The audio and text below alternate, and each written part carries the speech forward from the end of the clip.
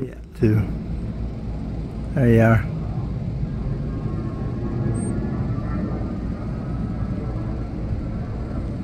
It's a non-focused day.